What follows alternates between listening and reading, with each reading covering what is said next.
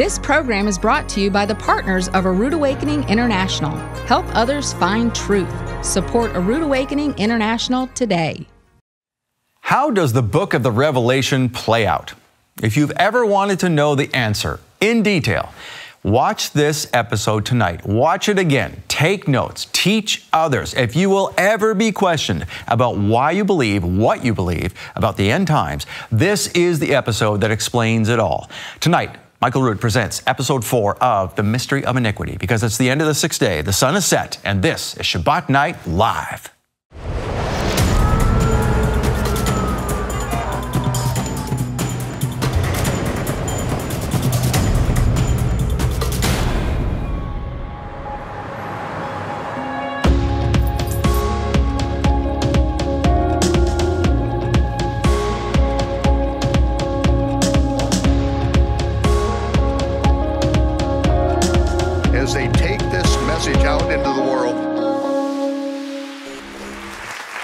Shabbat Shalom to our fans. Welcome to Shabbat Night Live with Michael Rood.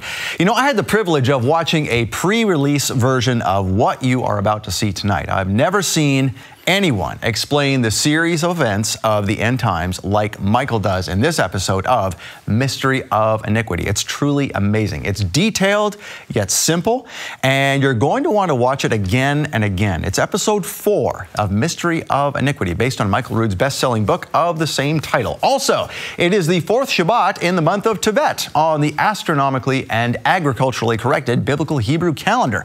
And as you know, there are amazing photos of the real Mount Sinai area on this calendar. Some of these photos have never been seen or photographed before, and right now these calendars are 50% off. And once they're gone, they're gone. We're getting ready for a new calendar, but this one is still good until June of this year, so you still get a lot of use out of it as well.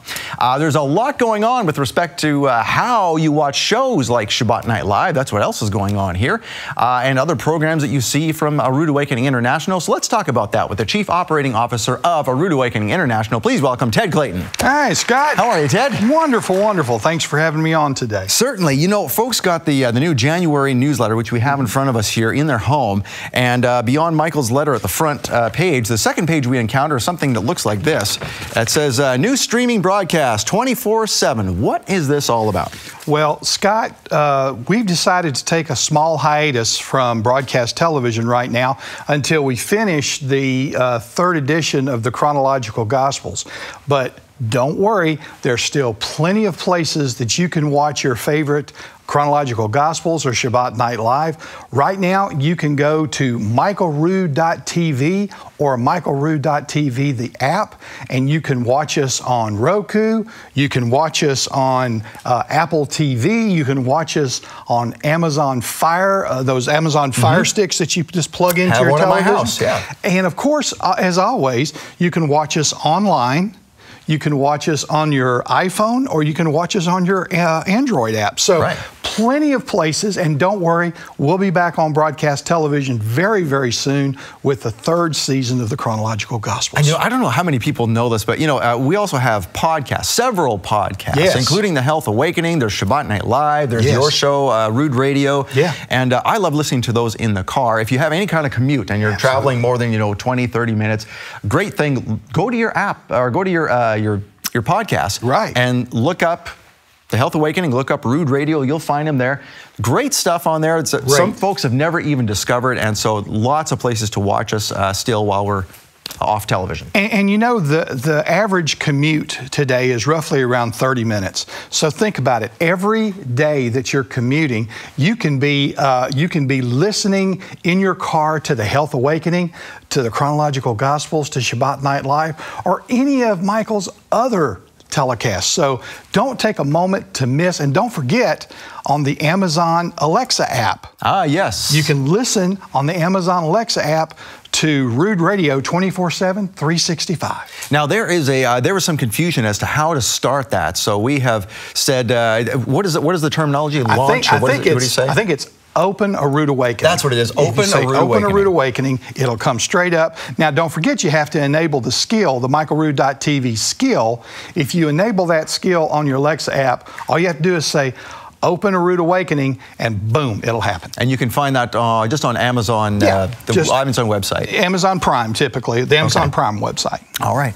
Well, uh, as we talk about these things, uh, more exciting things coming up uh, in April. April 10th to 12th is, of course, Passover 2020, the Red Sea crossing, and It's uh, going to be incredible. Oh gosh, you know, uh, Michael and uh, Tim have been talking recently about doing a series here with Tim. Yes. and uh, that is coming up as well. Lots of exciting detail about that Incredible. coming up. But uh, the more urgent thing about Passover is that there are only two weeks left now, as of this Friday. Well, as of today. As of today. uh, to get your ticket and save forty dollars per adult or youth ticket. Right. And uh, that's that's a real great bargain. It's one ninety nine per person for youth or adult. It goes up to two thirty nine. Right. As of February first. So you don't want to wait till that deadline. And already there's how many folks? Oh gosh, as of as of this right now, I think there's 250, roughly 250 people who have already signed up, and we still got quite a ways left. But man, the the whole Passover 2020 is going to be incredible. First of all, we're going to have David Salinas there with wonderful praise and worship, praise and worship like you've never heard before. We're also going to have Tim Mahoney there, and we're going to be worldwide debut of his latest movie, Patterns of Evidence, The Red Sea. Uh, is it the Red Sea or Red The Sea? Red Sea Miracle is Red Sea calling Miracle. it, yeah. That's right. And it's going to be episode number two. So by then, episode one will have already played, but you're going to see it at Passover, right there, for the first time anywhere in the country. And it's just going to be fantastic. So he's kind of doing a Star Wars thing. He's got episode one, episode two, the same title, and what is it? No, no, he's, he's got one from the Egyptian perspective, which is coming out in uh, in February. February, very soon, next month, coming out in February.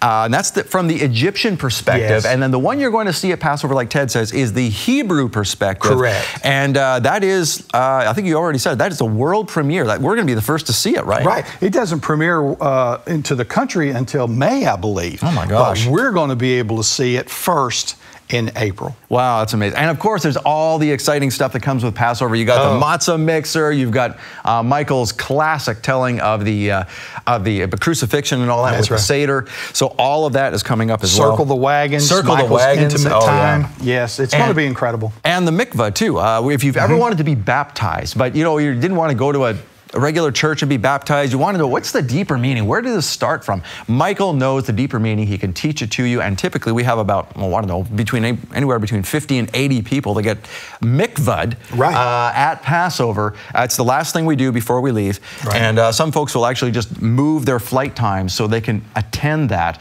Uh, that's going to be somewhere near. Sunday afternoon, I guess. Is that No, correct? actually Sunday morning. It's Oh, actually going to be morning. Okay. little changes this year. We're going to be doing Circle the Wagons on Saturday afternoon and the mikvah Sunday morning. Just because of people having to leave and just because of those plane flights, we're just going to go ahead and get it done early in the morning so people can be there and be, a part of that. Now, as far as watching that movie, we do not have broadcast No. rights for this movie. So if you want to see it, you have to be You in got to be attendance there. You to see it. be there. The doors are going to be closed. It's kind of a secretive thing. Yeah. Uh, Tim Mahoney, being the filmmaker, has the, the rights to say, I want these folks to see it. And, you know, he is the only one that has that call. So And oh, by the way, he's going to have an intimate time with the people there of questions and answers about how did you make the movie? What what made you want to make this movie? So just incredible time at Passover 2020 this Hmm. All year. right, well, get your tickets, passovercharlotte.com, or call us at 888 766 3610. Thanks for joining us today, Ted. Uh-huh. All right, if you've ever wanted to know the answer in detail, watch this episode tonight. Watch it again. Take notes. The answer all about the revelation. Teach it to others once you see it. It's Michael Rood coming up with episode four of Mystery of Iniquity. And up next, it's the Kiddush to bring in the Sabbath with bread and wine. Stay tuned.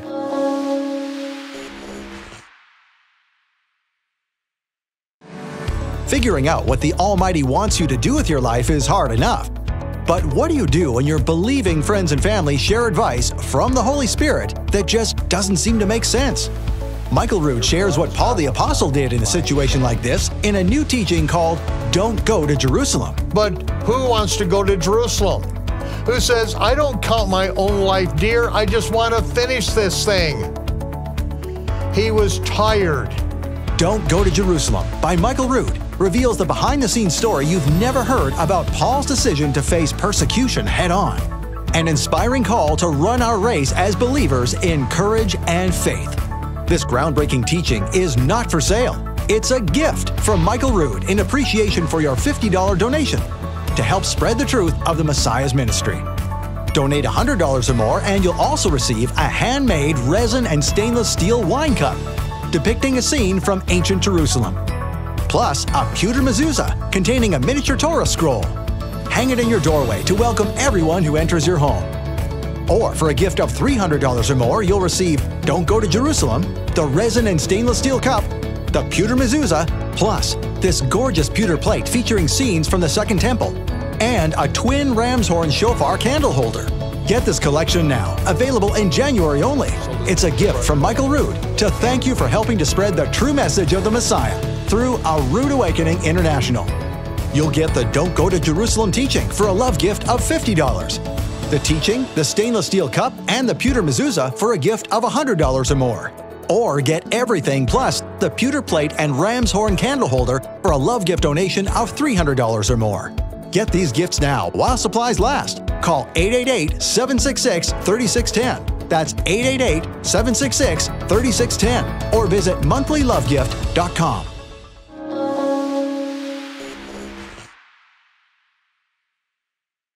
The last night that Yeshua was with his disciples, the Last Supper before the Passover was sacrificed, he took bread and he took wine. He said before that Abraham saw his day and rejoiced. But what does that mean? He saw his day and rejoiced. Well, it was the Melchizedek, the king of righteousness, that brought forth bread and wine to Abraham. He blessed the Most High with the blessing that Abraham taught Yitzhak, Yitzhak taught Yaakov, and is still spoken today. Whenever bread and wine is served at a Jewish table, whenever it is Sabbath, especially around the world, the bread and the wine are brought forth with this blessing.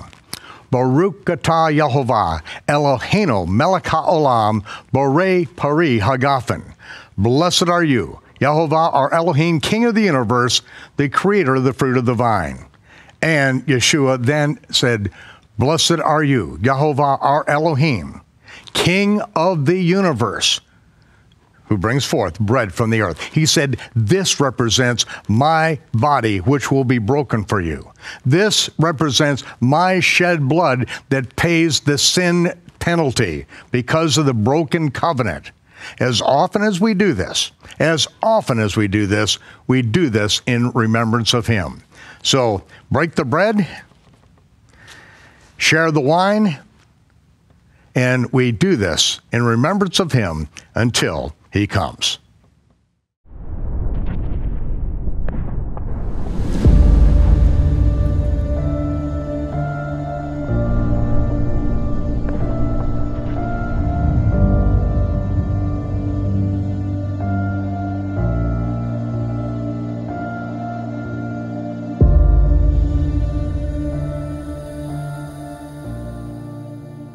In Paul's second letter to the believers in Thessalonica, he reveals the details of what must take place before the Messiah returns.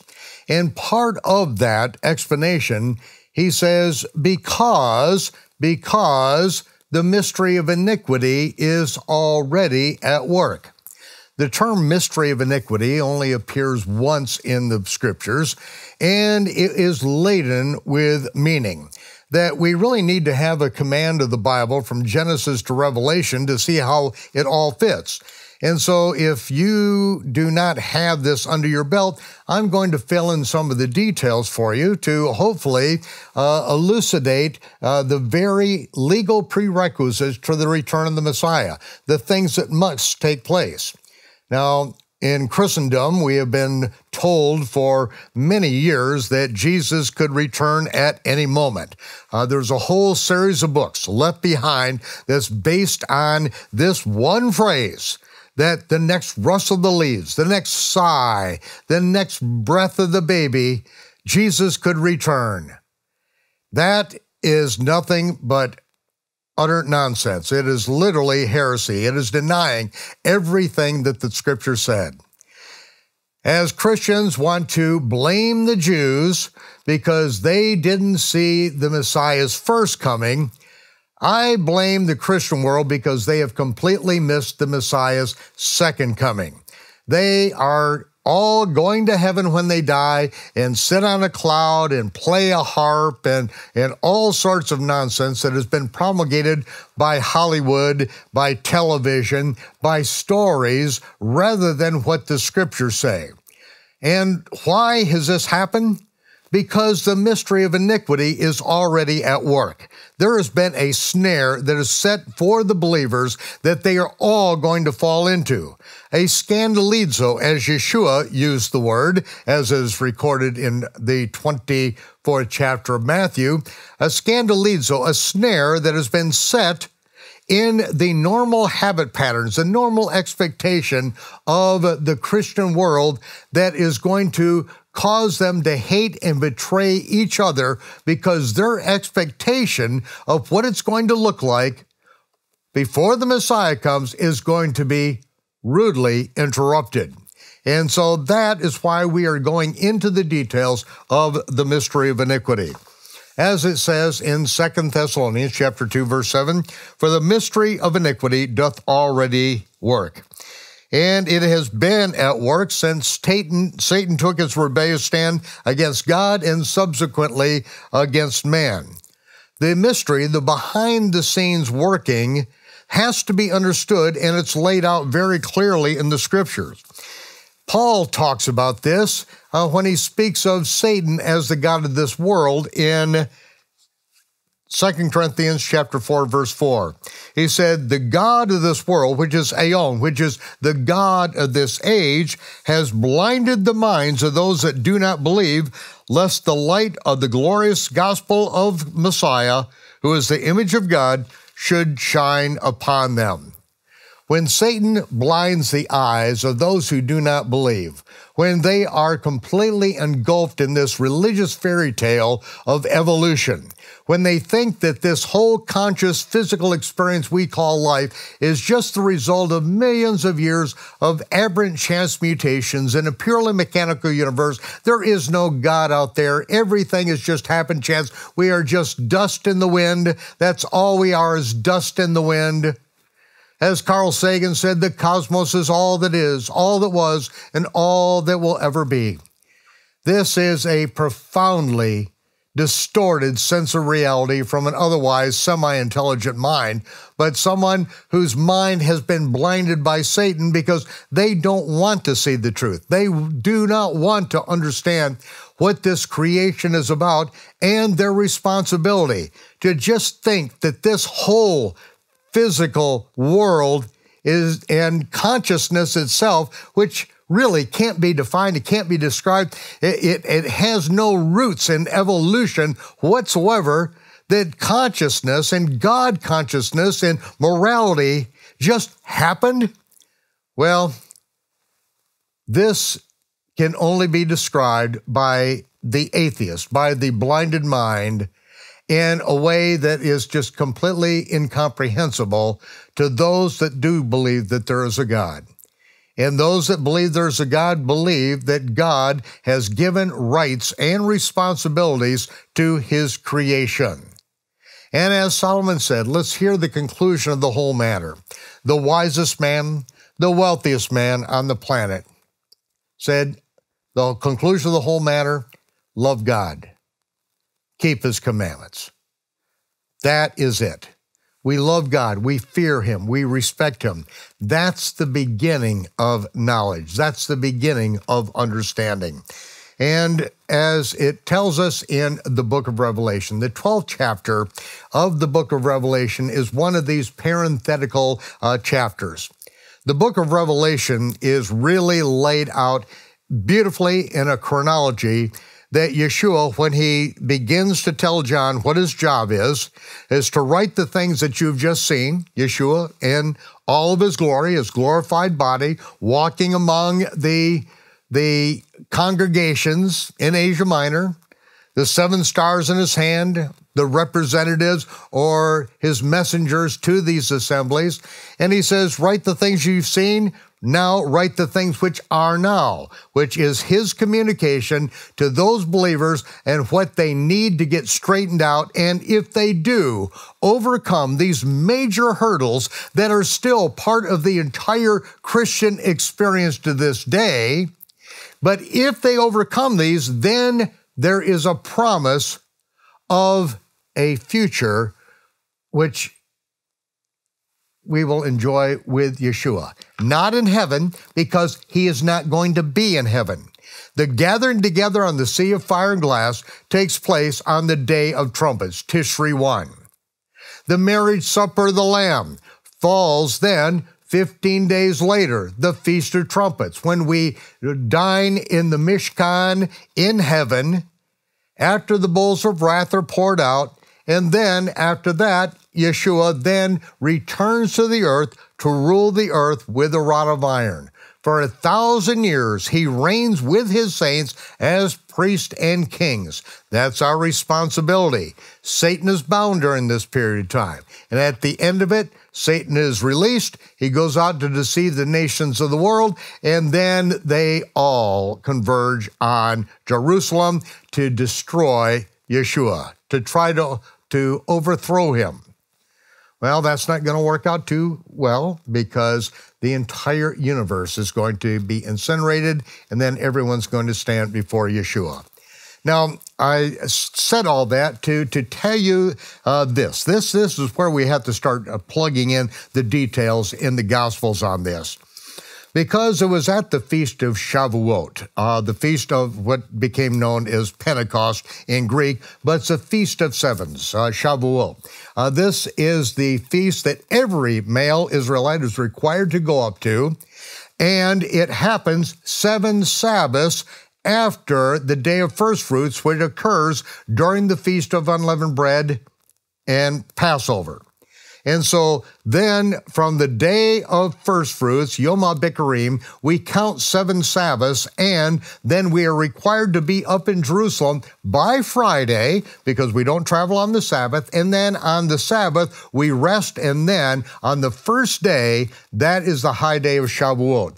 People come from all over the world to be there. The Jews that have been dispersed, the Israelites have been dispersed, they all come back uh, to, to Israel for that because the scripture says we are required. Every Israelite is required to be there.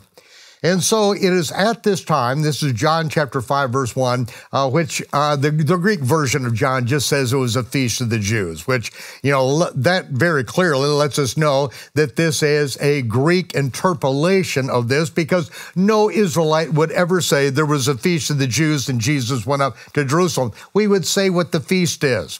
This particular feast, you just read the details, and any Jew knows this is Feast of Shavuot. But what does Shavuot means? It means sevens.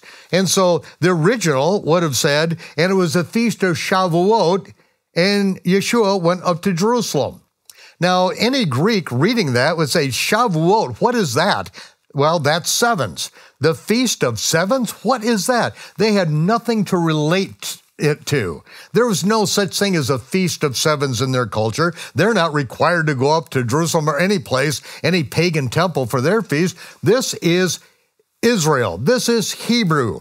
And so they said Feast of Sevens, and, and, and so they say, Okay, what's that? Oh, that's a feast of the Jews. Okay, good enough, close enough. There was a feast of the Jews. Jesus went up to Jerusalem. All right, that that's there's so many things in the Gospel of John that that just over and over 60 times it tells you this is all Greek version of a gospel that was originally in Hebrew. And even if we only had it in Greek, still it's describing a completely Hebrew culture. So Yeshua goes up to the feast. He's there by Friday because it has to be there by Friday. Everyone has to be there by Friday. The next day, they're relaxing uh, by the, the, the pool, and that is when there was a man who was lame there for 38 years who wants to get in the water and get healed. And this is the water coming from the spring of Yeshua, spring of salvation, into the pool of Yeshua. And he's trying to get into this water. Yeshua himself comes along and says, Do you want to be healed? The man gives a lame excuse that only the lame can do. And Yeshua said, I just said, you want to be healed? And so he, he heals the man and says, Now pick up your bed and walk. He is telling him to literally break a law that the Pharisees put in place. A law that any of them could do. They could carry their bed because they could make the provision the day before, the provisions necessary for them to be able to carry something. But that lame person, lame for the 38 years, he didn't have the opportunity to jump through these rabbinic hoops, which I shorthand call the law of the Eruv, Yeshua deliberately tells them to break. And so, immediately after he heals him and the man is carrying his bed, the Pharisees are outraged. They know this man. He's been there like for 38 years on this bed, and now he's carrying his bed on the Sabbath. So the next day, Yeshua is up on the Temple Mount, and he, they, they the Pharisees leaders are making plans how to kill him. Because not only had he been at Passover, now we have to just back up. Remember, Yeshua was baptized, 40 days and 40 nights in the wilderness. The temptation comes out of the wilderness, and John says, Behold the Lamb which takes away the sin of the world. Yeshua then picks up some of John's disciples, and, and then uh, Philip, then Nathaniel. Then on the third day, Yom Shlishi, the third day, he's at a wedding in Cana where he deliberately defiles the Pharisees' ceremonial stone water pots, and his disciples see his judgments and believe on him. Then they go down with his family down to Capharnaum for not many days. Why not many days? Because now, they, just a few days from them, is Passover and the Feast of Unleavened Bread. Yeshua gets up to Passover that year. He has to be there by, by Thursday because Friday is when the Passover lambs are sacrificed. So they're going to get up there as soon as they can. And then he goes in the temple and he overthrows the money changers' uh, uh, tables in the temple and makes a whip and drives the animals that are being sold on top of the Temple Mount, which is not authorized by God, but the Pharisees made a special thing. And so th- this causes them to absolutely erupt. And he says, By whose authority do you do this? And Yeshua said, I'll tell you by whose authority. Destroy this temple, and in three days I'll raise it up. Yeshua does miracles uh, not, uh, that are not defined at that time. He stays in the area, he baptizes, he meets with Nicodemus on Yom uh, HaBikurim, the day of the first fruits, and that's when he tells Nicodemus, You're, you're a ruler uh, of, the, of the Jews and you don't know this? That flesh and blood cannot inherit the kingdom of heaven, you must be born again. And so now, the very next thing that happens after that day, seven weeks later, seven Sabbaths later, he's up, he heals the man just before Shavuot. Now, on the Feast of Shavuot, he's up on the Temple Mount, and the Pharisees, because he has healed this man, it shows a divine miracle, and yet Yeshua tells them to break a Pharisee law. They are so irate that they want to kill him. And so they're making plans of how to kill him. And this is when Yeshua then uh, uh, speaks to them. Truly, the Son of Man can do nothing of himself, but that which he sees the Father do. For whatsoever things he does, so the Son does likewise. And so he's saying, you know, I've done this miracle and you marvel, and you're going to see greater marvels than these. He said that in, in verse 22, this is John chapter 5. Uh, verse uh, uh, 21. The Father raises up the dead and quickens or makes alive whosoever he will. And so the Son will quicken, make alive whoever he wills. For the Father judges no man, but he has committed all judgment to the Son, so that men should honor the Son, even as they honor the Father. He that does not honor the Son does not honor the Father. Yeshua then tells him, I am going to raise the dead, and then I am going to judge everyone. God Almighty, the Heavenly Father, has given judgment into my hands. As the scripture says, Yeshua was tempted in all points like we, yet without sin. Yeshua is then thereby able to judge everyone because he has been tempted like we were, yet without sin. God cannot be tempted, neither tempteth he any man. But Yeshua was tempted. And so he is right in their face saying, I am going to raise the dead. And then he is going to judge everyone. Now, the very next time, uh, th- this is the Feast of Shavuot, and the next time Yeshua goes up uh, to Jerusalem, uh, you know, well, I'll say at Shavuot, this is when he finds out John has been put in prison. And so Yeshua leaves and goes up into the Galilee. The end of the week, he reads the prophecy of Isaiah saying to preach the acceptable year of the Lord, and he closes the scroll. He does not continue reading about the day of judgment of our God because he's not here to fulfill that at that time. This is when he returns the next time. This is the part that the whole Christian world has missed. When he will sit in the tabernacle of David on the Ark of the Covenant and he will rule the nations from Jerusalem with a rod of iron. And so, the very next thing that we see happen at the end of the of, uh, of this period well, Yeshua goes up and leaves and goes up in the Galilee, begins teaching in the synagogue. Then is the fourth month and the fifth month, and this is when he trains his apostles, his sent ones. The sixth month, he sends his apostles out and then has them gather, regather, and they get back together on Thursday just before the Day of Trumpets, uh, which will happen at sundown that Shabbat. So John chapter uh, 6 deals with him uh, feeding the 5,000. And then in the synagogue at Capernaum, that is when he teaches on the last day and the resurrection. And he says, I am the one that will raise the dead. I will raise them up in the last days. Over and over and over, I will raise them up in the last days. See, this is what the Christian world is missing. They want to send people to heaven, but Yeshua is going to raise us up. He's going to gather us, and we will go to the sea of fire and glass. We will go to heaven, but we're not going to stay there. He returns with us. See, Yeshua lays this out very clearly and John is detailing this very thing. Then we get to the book of Revelation, and it is John who is given the rest of the revelation. So these things all have to be under, understood in their context. Now, in Revelation, now we go to Revelation chapter 12, and this is the uh, a, a, a chapter, Revelation 12, which is a parentheses. The parentheses show cause and effect. They tie together that which has happened before to that which is happening in the future. And this particular one starts out with there being a great sign in the heavens. A woman clothed with the sun, the moon underneath her feet, and above her head a crown of 12 stars. And she, being with child, cried, travailing in birth and pain to be delivered.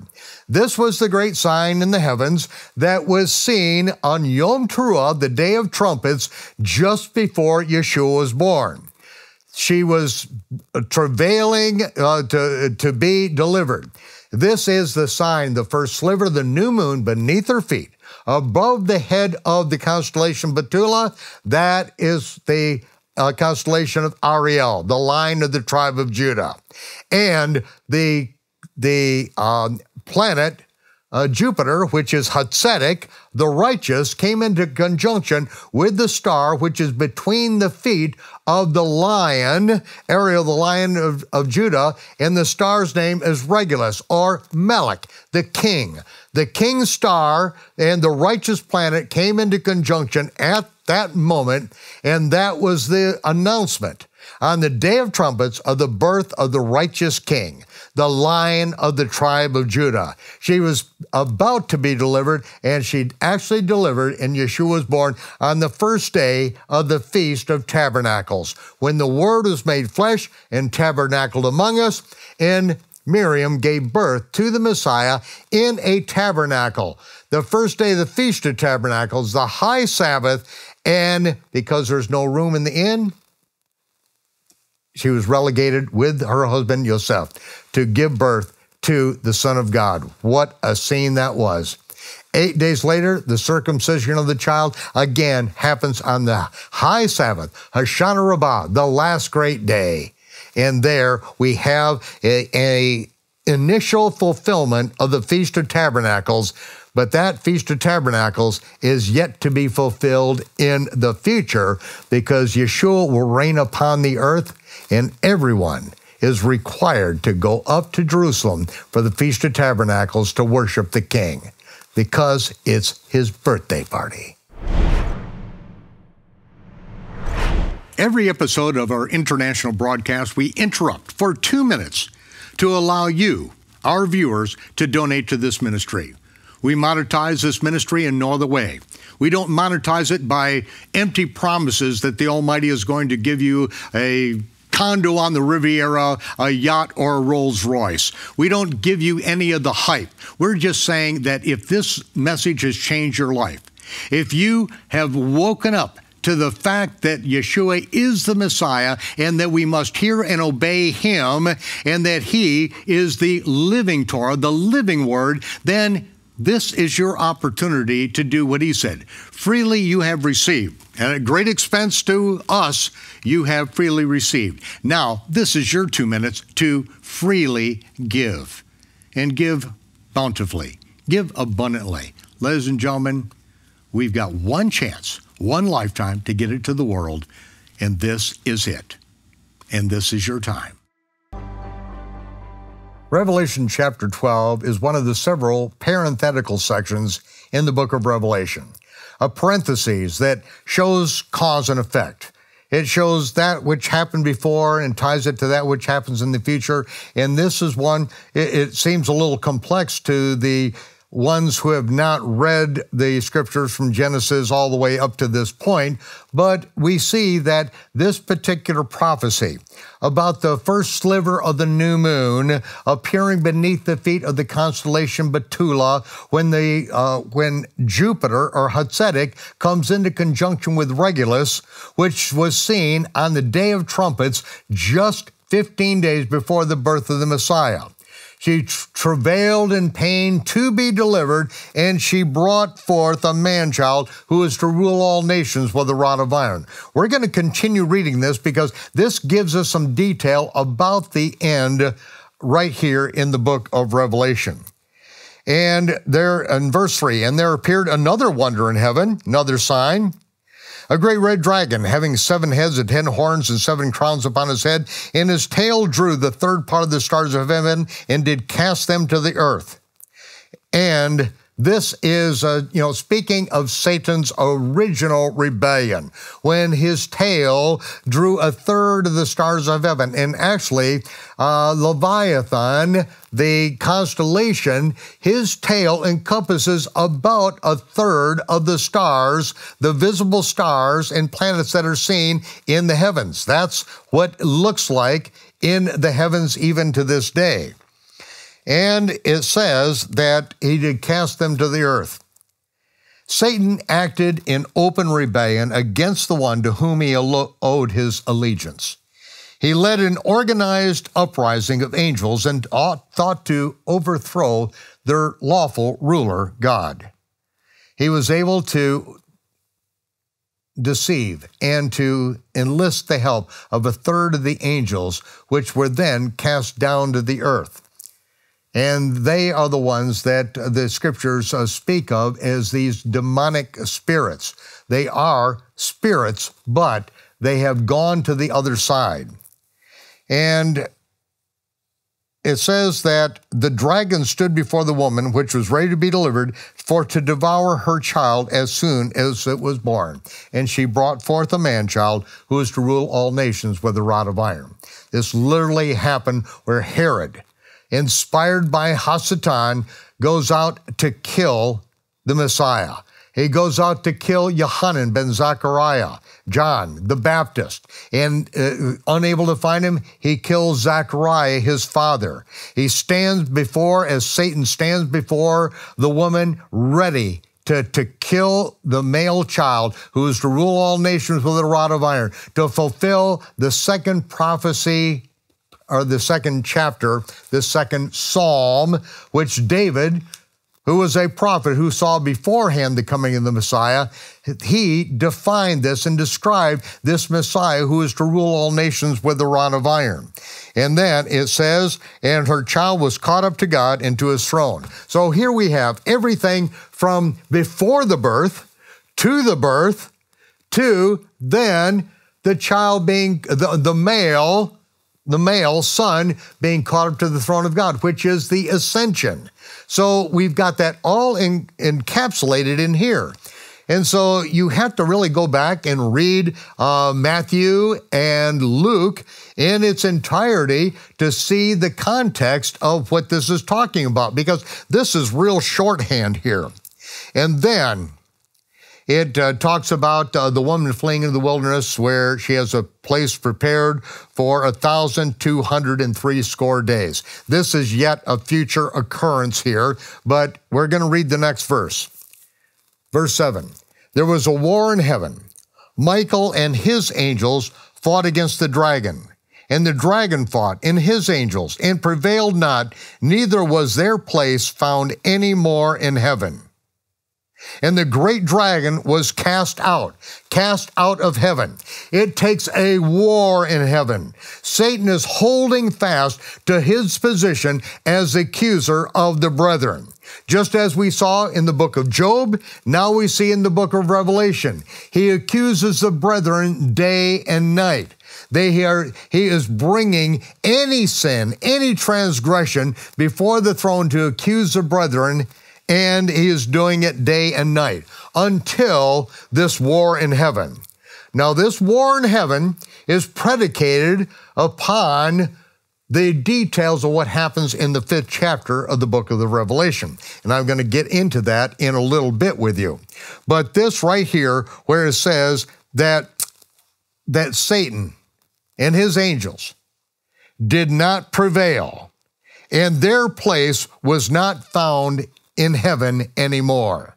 He was cast out to the earth. And verse 9, and the great dragon was cast out, that old serpent called the devil and Satan. It keeps on going with the list of names, however you want to refer to the prince of the power of the air. And he's the one that deceived the whole world. And he was cast into the earth, and his angels were cast out with him and I heard a loud voice in heaven. Now has come salvation and power and the kingdoms of our God and the power of his Messiah. For the accuser of our brethren has been cast down, which accused them before our God day and night. And they, the saints, overcame him by the blood of the Lamb and by the word of their testimony, and they loved not their lives unto the death. This is a future occurrence. This has not yet happened. And they overcame him by the blood of the Lamb. And it says in verse 12, Therefore rejoice, ye heavens, and ye that dwell in them. But woe to the inhabitants of the earth and sea. For the devil has come down to you, he has be, and he has great wrath, because he knows that he has but a short time. And when the dragon saw that he was cast to the earth, he persecuted the woman, which brought forth the man child. He persecuted Israel, from whence the Messiah came. And to the woman were given two wings of a great eagle, that she might fly into the wilderness, into her place where she is nourished for a time, times and a half a time. In the book of Daniel, the same thing, for three and a half years same number of months. All the, the details are the same. And the serpent cast out of his mouth water like a flood after the woman, that she might be carried away, but the earth helped. And so we see that the dragon, in verse 17, uh, I think this is important. The dragon was wroth with, with a woman, went to war, make war with the remnant of her seed, which keep the commandments of God and have the testimony of Yeshua Messiah. These are the combatants. These are the warriors. These are the ones. They have the testimony of Yeshua and they keep the commandments of God. If you do not keep the commandments of God, you're not even in the battle. You say, Oh, I love Jesus, but you don't do what he says to do. You don't love him. You just mouth it. You love the Jesus that you made up in your own mind. Your eight pound, six ounce baby Jesus. You, you don't love Yeshua. You don't love the Messiah enough to follow what he said to do. So here it is. Now I'm going to go all the way to the book of Daniel. It just happens to be Daniel chapter 12 as well. At that time, at that time, shall Michael stand up, the great prince, which standeth for the children of thy people, and there shall be a time of trouble such as never been since there was a nation even to that time. And at that time, thy people shall be delivered, every one that shall be found written in the book. Many of them that sleep in the dust of the earth shall awake, some to everlasting life, some to shame and everlasting contempt. And they that be wise shall shine as the brightness of the firmament. And they that turn many to righteousness shall shine like the stars forever and ever and ever and ever. This is speaking of the resurrection. This is the time that Michael and his angels stand up in the great war in heaven. Satan is cast down to the earth. Their position that Satan has been holding fast to as the accuser of the brethren until he is taken out of the way, out of the midst, out of the throne room of God, he is cast down to the earth, and now sanctification has happened in heaven. But woe to the earth, because this is the time that we're going to read about in Paul's letter to the believers in Thessalonica and in the book of Revelation, and as Yeshua details this to three of his disciples on the Mount of Olives, this is the time that the abomination of desolation takes place. This is the time that the man of sin is revealed, the son of destruction, who opposes and exalts himself above all that is called God, so that he, as God, sits in the temple of God, declaring himself that he is God. But the word temple is not what you think. The word temple is not this big stone structure. It's not like Solomon's temple. It's not Herod's temple. This is the key to what must take place. And he says in that, remember, Paul says, remember not when I was with you, I told you all these things? Yeah, he told them all these things when he was with them. Paul is writing this letter with the help of Silas and Timothy. He's writing it from Athens because he, after leaving Thessalonica the first time, with almost losing his life, with the with the mob from Thessalonica chasing him all the way down to Berea. Then Paul has to get on a boat by himself and get out under the cover of darkness and gets out of the country across the sea with Silas and Timothy still behind. When Paul gets to Athens the first time, he then sends the boat back after him, said, Get back there and get them now, rescue them. And while they are going back to rescue them, Paul confronts the pagans in Athens and then has to flee Athens. Years later, he comes back to Athens and he writes these letters to the believers in Thessalonica. And this is why it is so important that we understand it. Because Paul was dealing with these people, he told them, as he said, Remember when I was with you, I told you all these things about the man of sin, about him being revealed, about the timing of all this, and about the timing of the Lord Yeshua being revealed from heaven with his mighty angels in flaming fire, taking vengeance on those who know not God and who obey not the gospel. He's talking about their, their rescue and what must take place first.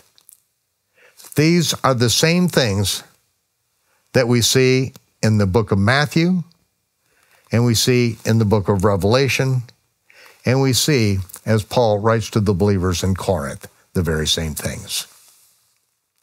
To understand the context of Paul's letter to the believers in Thessalonica, we need to go back to the 17th chapter of the book of the Acts. It says in verse 1 when they had passed through Amphipolis and Apollonia, they came to Thessalonica, and there was a synagogue of the Jews. That's kind of redundant. If it's a synagogue, it's a Jewish synagogue. These are Pharisees, okay? And you, and uh, Paul is going in to these Pharisees. He has with him Paul, and uh, Paul has with him uh, Silas and Timothy. Silas is with him because he and Barnabas have already split up over a disagreement about whether they should take John Mark with them on this particular trip.